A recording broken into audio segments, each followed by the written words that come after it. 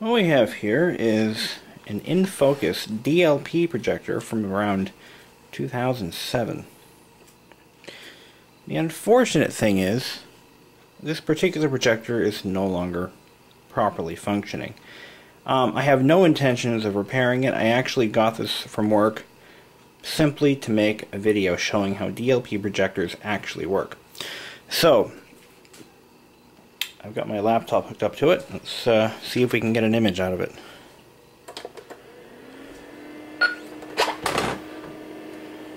Okay, if you were attentive, you would have heard a really quick winding up sound, more like a camera flash um, capacitor. What you heard was the color wheel spinning up. And that is, I believe, is the problem with this projector, particularly. If not that, it could be the color wheel engine itself. You know, I just noticed this projector is working perfectly fine.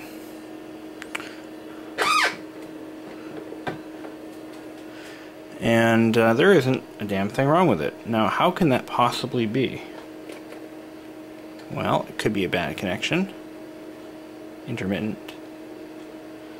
Alright, let's go ahead and make this our primary display. Because when I had this at work, I could not get it to work at all. Well, not very well anyway. We're going to set our resolution down to 800 by 600, which is about what that thing can handle safely. And it is now our primary display. Let's bring it up to 1024 by 768. Alright, see what that does. Okay, that's a little more natural. Kill some lights. Let's take a good look at the image. Alright. Looking pretty good. You see that flicker? That is because the color wheel spins at a rate that this camera is not um, liking very much. Now if I point the camera towards an LCD display, it's damn near perfect. So we're going to take the projector apart and take a good look at the engine, the light engine, and the, um, the unit as a whole. But what really vexes me right now is this projector looks pretty damn good. Hmm. Okay, well, looks like I'll be bringing it back to work to see if I can't get it to function again in its proper home. But I might let it run for a little while to see if the thing acts up again. So let's go ahead and shut it down, let it cool off, and then we'll pull it apart. Take a look at uh, what's what. Okay. Alright, so I'm beginning the stages of disassembling this projector. I've already uh, unscrewed the bulb. And I'm now going to lift it out of its cavity. Set it aside. Now this bulb is housed in a fairly high quality housing. It's all metal. Haven't seen anything like that before. That must be one of the longer life bulbs. Once we have the bulb out, you can actually see the color wheel, or part of it, right there. And I'm going to try to explain to you how this actually works. It's pretty cool. Um, a little more complex than LCD projectors, but the benefit is actually, well, there is a benefit there, so. Alright, so I've got the top cover removed, and I'm going to show you uh, basically what many of these components actually do. Um, from what I can tell, alright, the color wheel is right here. There, it's made of glass and is tinted three different colors and transparent. Somewhere in this vicinity is the actual image generator, uh, which is more than likely let's try to get a good idea as to what the direction of flow is. So we have underneath, this is the light tunnel here. The light bulb is located in here. And what that does is it sends the light through the color wheel, which pre-colors it in coordin in in um, in synchronization with the DLP chip.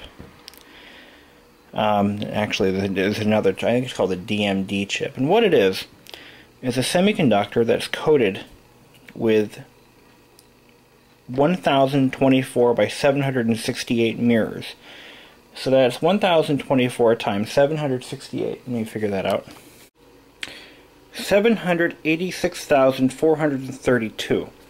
They're microscopic. So we have all those mirrors coating a chip that has the ability to tilt the chip in either a straight path towards the color wheel or it can tilt it downward or upward, as the case may be, um, towards a heat sink, which actually absorbs the heat generated by the light. Now, how that makes an image is actually pretty simple. Let's say the native resolution of the projector is 1024 by 768. Now, this is a gross oversimplification. There actually are variances in that depending on the, the technology used. Um, and this again is a single chip model. A single chip will have a color wheel, a three chip will not. So, we have this, for all intents and purposes, a chip that produces an image. Um, and what it actually does is it turns each pixel on and off by tilting the mirror. And as the color is, now it generates a black and white image. Okay. And what it actually is doing is generating each color one frame at a time. Um, so it'll do red, the red portion of the image, then the blue, then the green, vice versa. Or it'll mix the colors so fast you don't even notice a difference.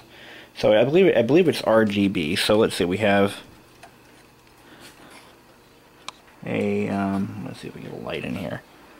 That looks like the blue. We have yellow and blue. Wait a minute. I'm going to need to get some light in there so we can actually see the colors. Um, okay, so we have blue. We have clear. We have green. And we have what looks like it could be red. So what it's doing is it's generating now in a three a three color projector, like a three tube projector, each tube generates one portion or the portion that corresponds to the color of the tube of the image. When they're all mixed together, they produce a solid image of um, normal natural color. Same principle, only it does it one color at a time. So it's projecting red, green, blue, clear, red, green, blue, clear so fast that it appears as though the image is a solid image, but when in fact, if you were to if you were to record it and slow down the frame rate enough, you would see each color flashed on the screen individually. An LCD projector produces all three colors at the same time and blends them with a series of mirrors and lenses. So we've got that portion uh, of, of the technology figured out. Now, the chip for act that actually creates the image is located, I believe, inside this lens body. And the light comes through. The appropriate color is is uh, is timed. So let's say we're doing the blue image. It then shines through this lens here. If we can get that there. So it goes through this lens into this sealed body and uh, I believe the chip is located on the back of this board. If I were to take this lens body away from the board, you would see the chip down in there. So it shines it through a couple of um, directional mirrors onto that mirrored chip. And uh, it then broadcasts that image through the lens. And that's how you have a, um, that's again a gross oversimplification of how the image is generated. Now, on here, actually, I think it's right down there, you have a, um, a positioning sensor that tells the computer, the onboard computer, what position the color wheel is in. If it senses a discrepancy or it doesn't agree with the position, um, that could mean a failing um, color wheel. Uh, so there's a couple of failure modes that affect these. Number one, light bulbs. They're very expensive. Most people don't even bother changing the bulbs, so just buy a whole new unit. The second mode of failure is color wheels. They do fail, and they fail apparently quite often. The third mode of failure is logic circuitry or heat management issues causing um, causing failures electronically. The chips also do fail, I believe. Um, but there's another mode of failure that uh, you might not think of. The color wheels themselves can fade over time and produce washed out colors. I haven't seen this myself, but I have heard of it. What I'm going to do now is we're going to go ahead and power the projector on, and we're going to watch it in, watch it in action, and uh, hopefully I don't blow something up. And as promised, I'm going to now show you how the projector works while it's apart, and you can actually see the color wheel in action. So I've got it all hooked up. We're going to press the power switch. See the color wheel just spun up.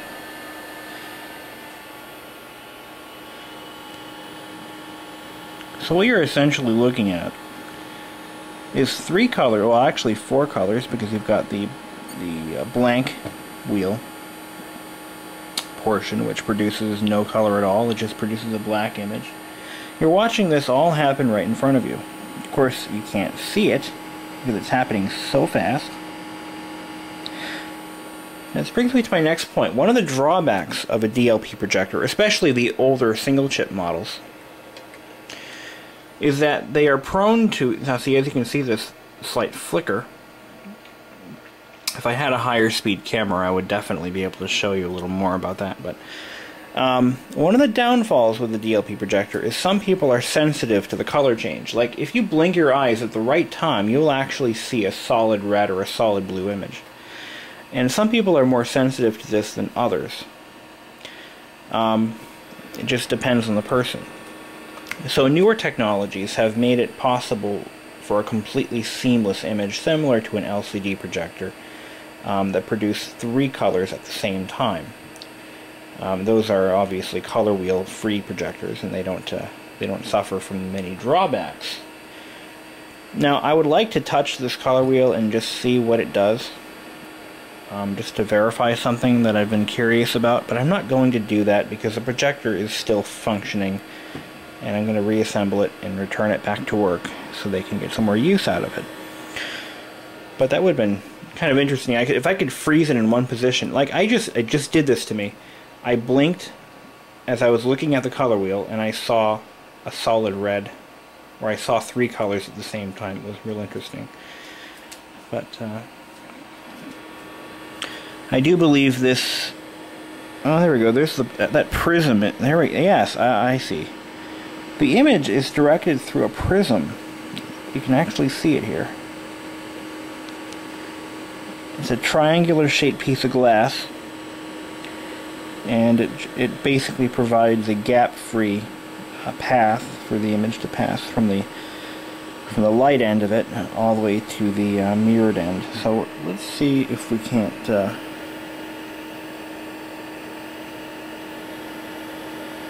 get a better image of that. So you're looking straight into the light tunnel right there. Adjustments to this prism can be made through these screws here. If the projector were ever dropped, you could theoretically recalibrate it. Interesting. And it's driven by that tiny little motor. Of course, it doesn't need much. And it is timed perfectly. If this was even slightly off, you would notice instantly. But the image is perfectly clear and uh, precise. Exactly what you want in a uh, projector. So that's good stuff. And this heat sink obviously is used to absorb the massive amount of heat that is uh, collected by that chip from the light engine. And we're going to go ahead and power her down.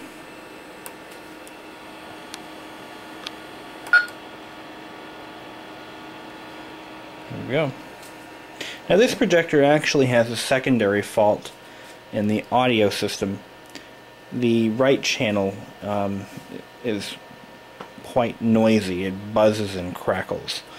Uh, but the left channel works perfectly fine. So what we do is we run it through an audio, not splitter, but we join it in a Y cable.